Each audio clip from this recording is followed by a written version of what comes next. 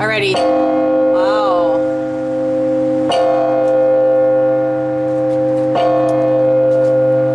So that is with the ringing, but you can also swing the bells? They swing the bells. The um, the uh, five bells that are some of the lowest ones also swing. Oh, the So five the lowest peal. bells also swing. Yeah. And is that what they do at, At the end of the service. At the end of the service. Yeah. But we don't do it when we're going to come up here and play them.